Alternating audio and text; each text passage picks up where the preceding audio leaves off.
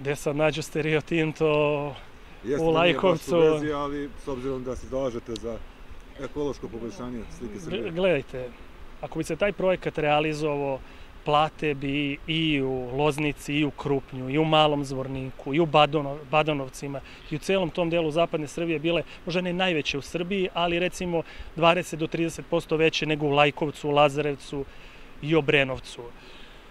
Vi kad, se, kad, kad tako velika kompanija dođe, vi ulazite u sistem globalne bezbednosti. Šta to znači? Nema više rata. Ali ti ljudi koji uh, agresivno napadaju taj projekat, sve to znaju, njima to nije bitno. Pravi cilj i jedini njihov cilj je da se zatvori Kolubara, da se zatvori Kostolac, da se zatvori termoelektrana Nikola Tesla i da se privatizuje Đerdap za male pare.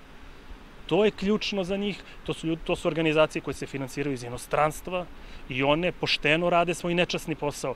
Da budem potpuno otvoren, mi to nećemo nikada dozvoliti, jer to je preduslov ekonomskog razvoja ove zemlje i mi želimo da a, a, plate i ekonomski standard, a onda naravno i kultur, kulturni i socijalni porasti i mi ćemo insistirati na tome. Da zaključim i da budem potpuno otvoren i, i pošten. Znate, a, znamo mi da je mnogo bolje da umesto što gradimo autoput, a, iz nekog ugla gledano naravno, mi zasadimo tu šumu. I naravno da bi to mnogo više prijalo a, medama i zekama.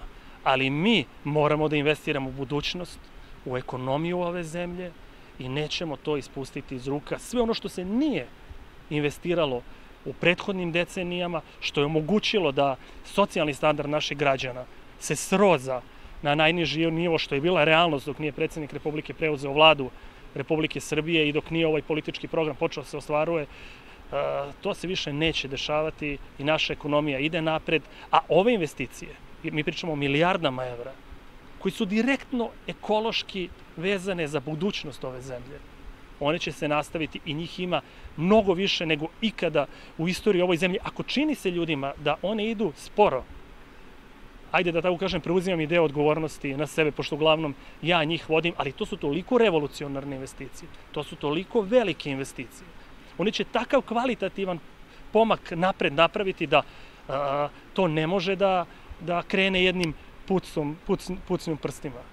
Ljudi će vrlo brzo videti da iz ekološkog ugla ova zemlja se menja ne na bolje, nego deset koraka na bolje.